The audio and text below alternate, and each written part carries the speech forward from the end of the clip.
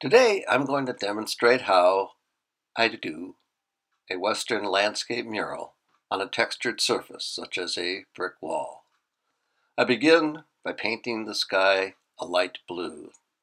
The upper two or three bricks becomes the sky out there on the horizon. I use a light blue because on the horizon the blue is much lighter than the sky is above us. If you look, that's darker blue above and a lighter blue out in front of us. With the help of video editing, it doesn't take long at all to paint the sky blue. Then I take a white paint, about six so six eight inches wide, and I blend the bottom of the sky into the horizon area.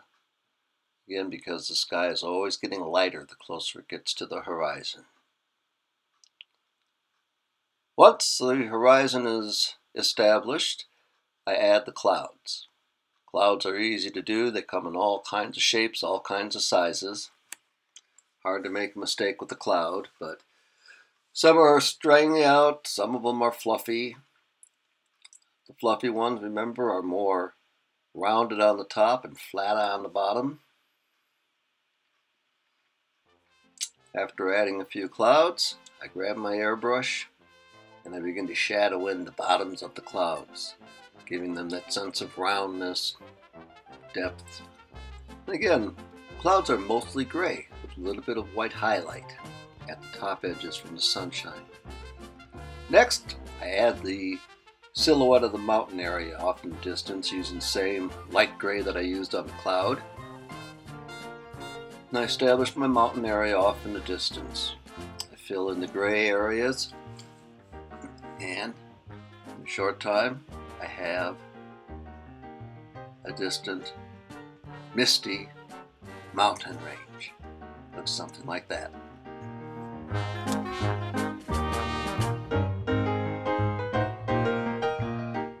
Next I take a darker shade of gray and I begin to define the shadowy areas and perhaps a slightly darker mountain in front of the ones I just painted giving me a sense of a closer mountain, creating the illusion of distance and depth simply by adding shades of gray.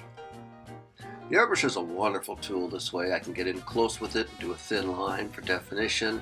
I can back it off from the wall like I'm doing there and create just a dusty, misty area, again like the uh, shadowing under the clouds. I can get in and define it.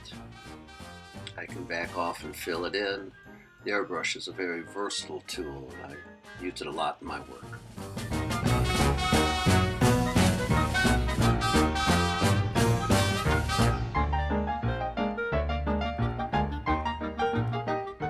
When I'm doing this kind of work, I consider it sculpting with shadows, just creating again the idea of a depth or a shape or three dimensions by the highlighting and the shadowing of it. The airbrush is again a very quick and once you learn how to do anything it's easy so once you learn how to do the airbrush it's a quick and easy tool to have a lot of fun with and get a lot of work done.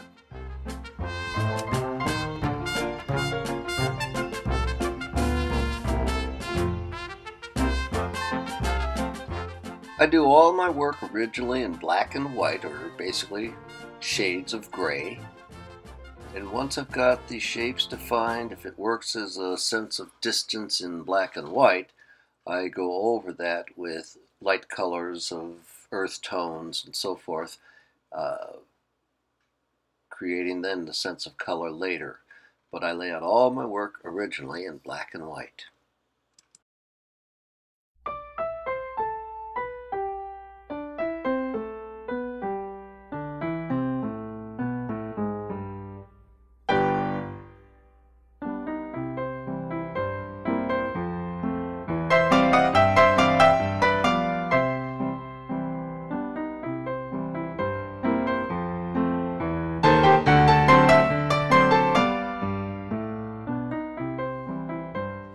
Once I've established my sense of distant mountains and closer mountains through the use of shades of gray, I can add the color. On top of the base grays, I use a single color of brown. The airbrush again, I can put it on thicker, or I can just dust it on lightly. And that gives me a whole sense of uh, tan, earth tone, desert, mountains.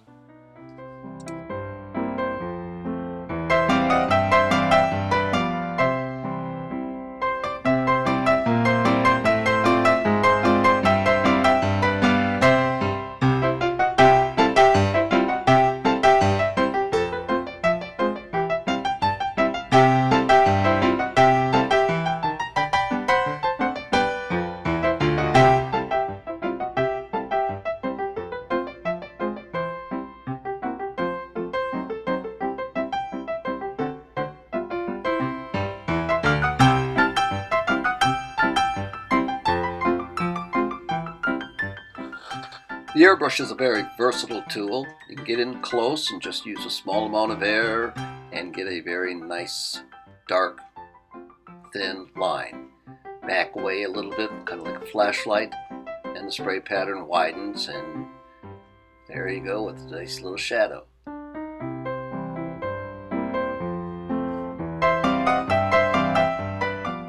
Add shadowing more and more towards the bottom and bringing the sense of artwork into the present situation, the actual yard location that we are living in. As we work our way down the wall, in a sense, we work our way towards the environment that we're actually living in. It's all done with shadowing, and uh, essentially, it's just one color of brown paint being airbrushed onto the background, giving the sense of three dimensions on a two-dimensional surface.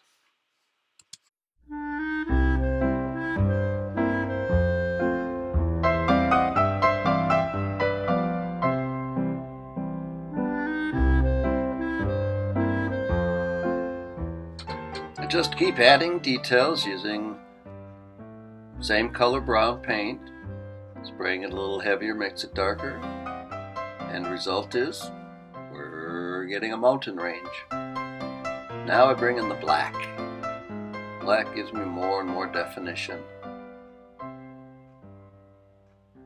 I only use that in the foreground. Off in the distance, it's still just misty, sort of suggested, but not real clear.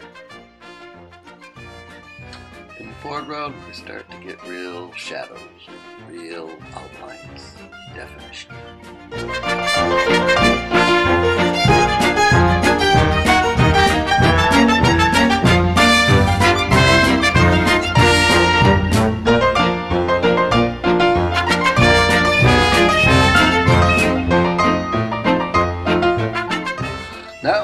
Time to create the snow on the top of the mountains. And for this I use a paintbrush. I'll take the paint directly out of the paint can, thicker. The airbrush paint was thinned so that it could spray. But for the snow, I don't want it to be watery and thin. I want it to be rather thick, covering the tops of the mountains.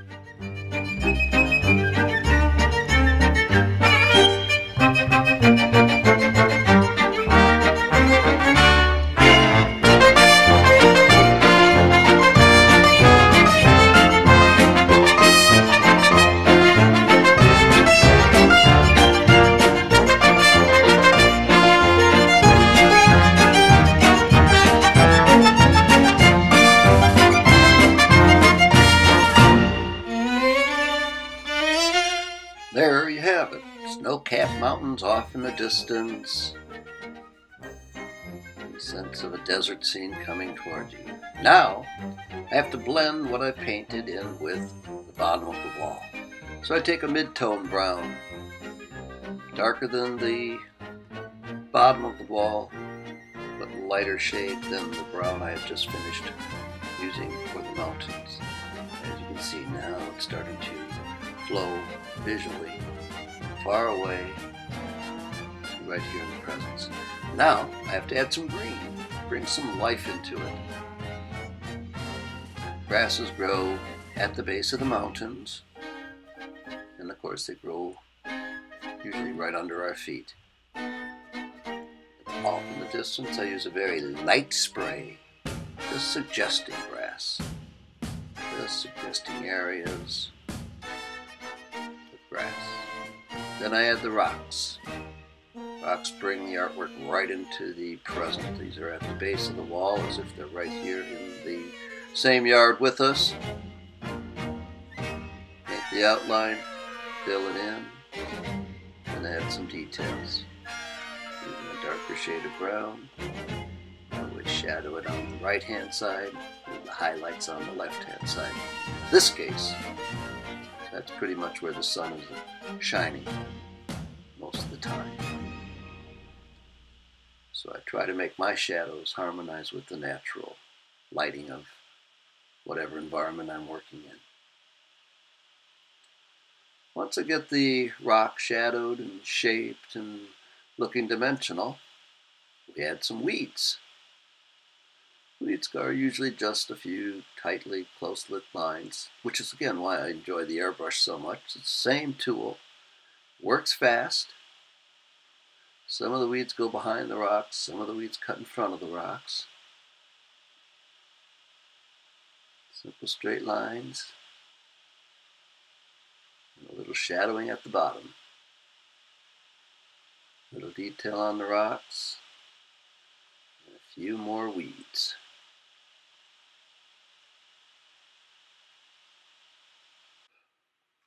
A little more detailing on the rocks and a few more weeds. Weeds are easy to do. Again, they go fast with the airbrush.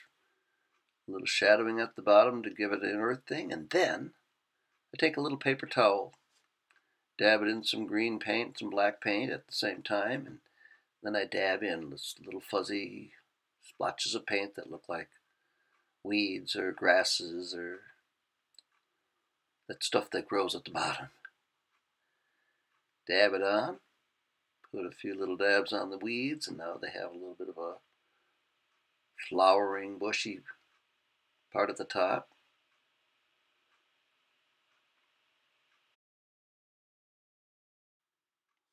This is all done with paper towel and a little bit of black paint a little bit of green paint poured next to each other on a flat surface and just dab it on just now I use a little bit lighter green here at the side to highlight the left-hand side of the weeds, giving it a sense of roundness, dimension.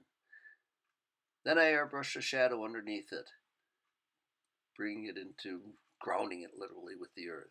A few dabs of red paint for little flowers, little things that might be growing down there. Add a little bit of blue paint different types of flowers, different types of weeds.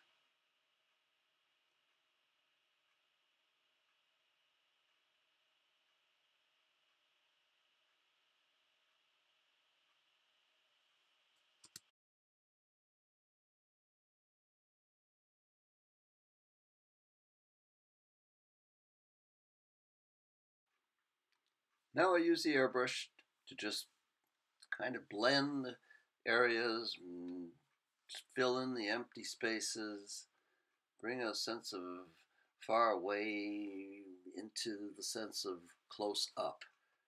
A little bit of black, a little bit of green, a little underlining. Just adding that sense of shadowing and grasses growing there. Darker green now that we're in the getting closer to ourselves, lighter green off in the distance. And that's how we go from this to this in about 15 minutes. And that's how I airbrush a wall mural. Thanks.